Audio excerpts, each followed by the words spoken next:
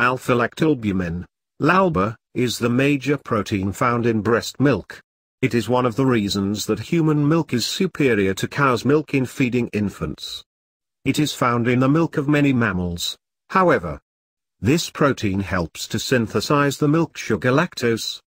Alpha-lactalbumin is added to some infant formula mixtures to make them more nutritious. Lactose is the major carbohydrate found in milk. It is a combination of the two sugars glucose and galactose. Alpha-lactalbumin acts as a regulatory unit for the enzyme that synthesizes lactose, by combining these two sugars. This protein complex stimulates lactose production and is itself stimulated by a hormone known as prolactin. When an infant sucks on a nipple, this stimulates prolactin production, which also causes the breast to fill with milk. A major component of human breast milk is alpha-lactalbumin, which is itself a nutrient for the infant. The presence of it contributes to the nutritional benefits of breastfeeding. LALBA is known as a whey protein. Whey is a term often used in conjunction with cow's milk.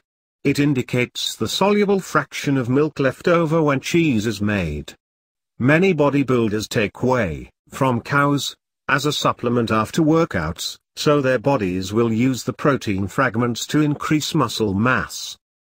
There are four main protein fractions in whey from cows, with the protein present in the greatest amounts being beta-lactoglobulin. This is not generally found in human breast milk. It can cause allergies in some children who are given cow's milk. About one quarter of the whey protein is comprised of alpha-lactalbumin.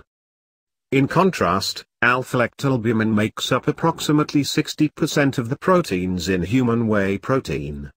Additionally, breast milk has a much greater concentration of whey proteins than cow's milk.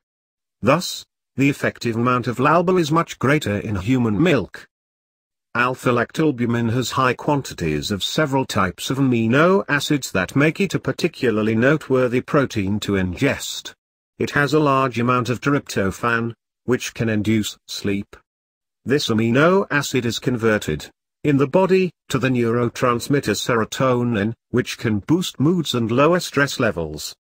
This is why a class of antidepressant drugs acts by increasing serotonin in people suffering from mood disorders. Also present in this protein is a large quantity of the amino acid cysteine. This compound is thought to help boost the immune system. LALBA also contains branched-chain amino acids, which are essential for people. These types of amino acids are required by the body, but cannot be synthesized by it.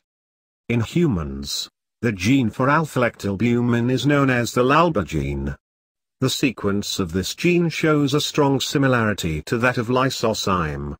This is an antibacterial protein that is found in saliva and tears. Its evolution is thought to predate that for LALBA, which is also thought to have antibacterial properties.